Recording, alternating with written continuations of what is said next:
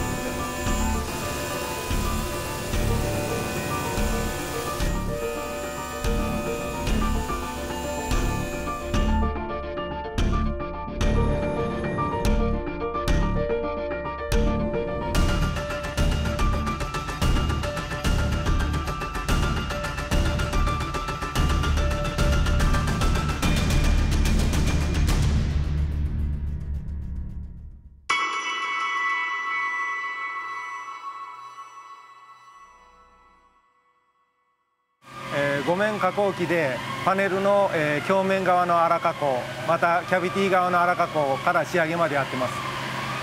えー、最終的にあの表面精度を出さないといけないので、えー、切削応力が残らないように、え加工することです。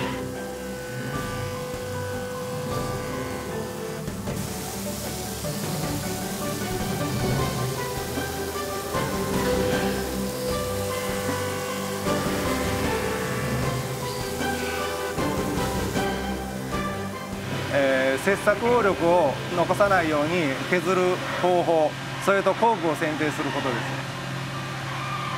それと、えー、後工程の、えー、方に聞いて、えー、切削応力がどれぐらい残ってるかそれを確認しながら、えー、最後は、えー、職人の、えー、手で、えー、微妙な調整をしながら加工していきます。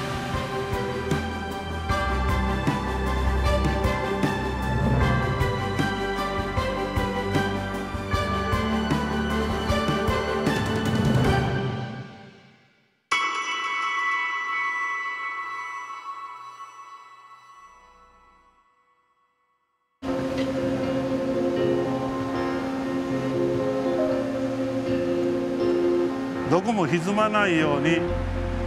フリーな状態で取り付けないとどっかこう干渉したとこがあったら外した後変形するんでもう中心で止めてあの四隅はこう自由に動くような状態で高速なしに取り付けていかにこう素直に仕上げてやるかそれがまあ一番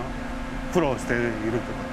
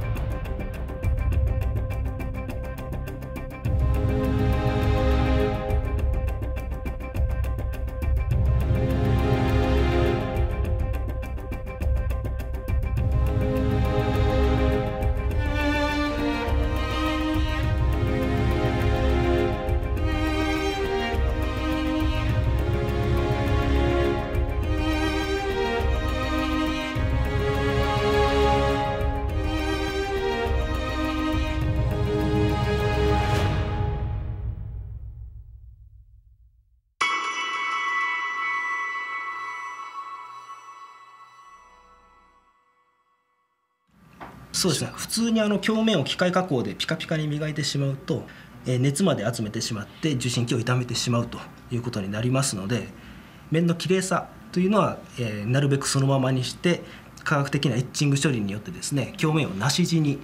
することで太陽熱ですねを分散させて、え、受信機を傷めないようにしております。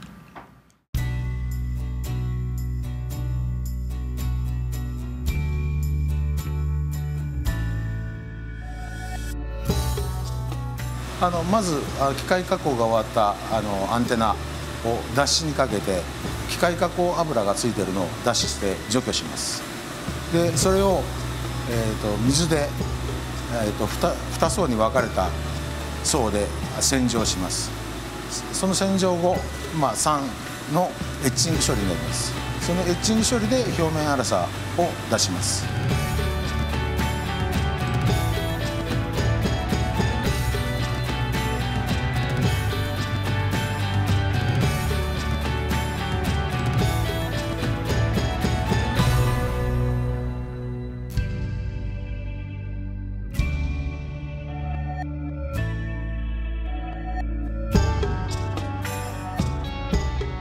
でその洗浄後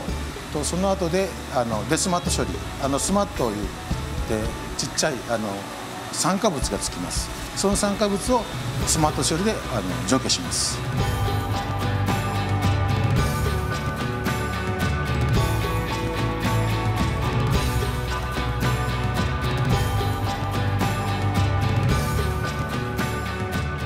その後洗浄2回繰り返して、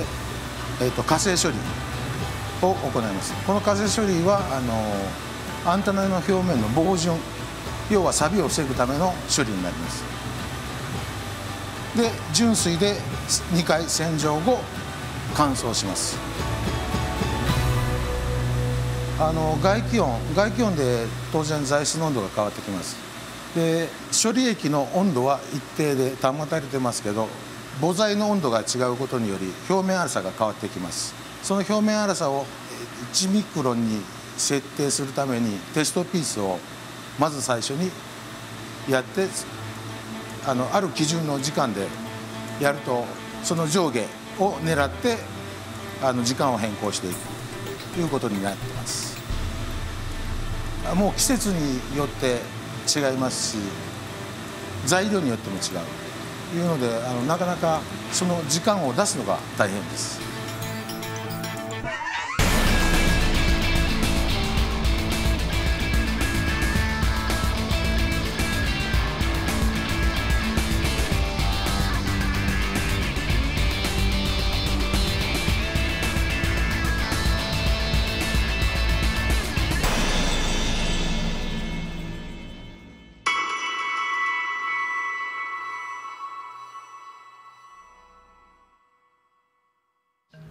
境はあの大きさの割にあの比較的深いカーブなんですね。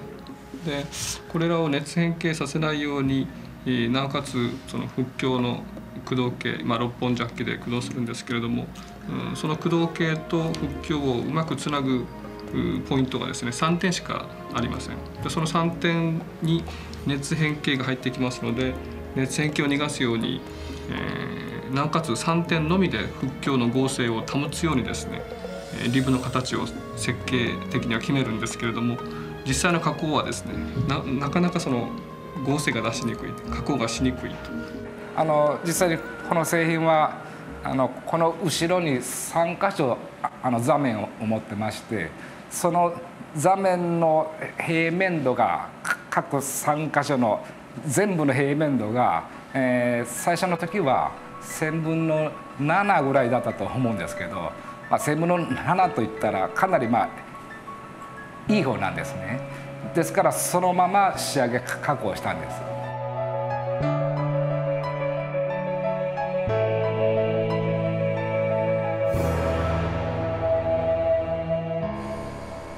で外して3次元測定器で測ってみるとどうしてもまあ寸法が出てないと。うんといってこれ1000分の7でもやっぱし影響してくるなということでもう一度平面度をゼロにしてからもう一度取り付けてジグにそしてあの仕上げたところもう寸法がバッチリ出たと。いうことなんで本当にそういうちょっとの千分台の寸法の、まあ、抑えによる、まあ、抵抗ですね。そういったことが大きく影響してくるなというふうに、まあ、この製品を持ってかなりまあ勉強させてこちらもいただいたというのが現状です。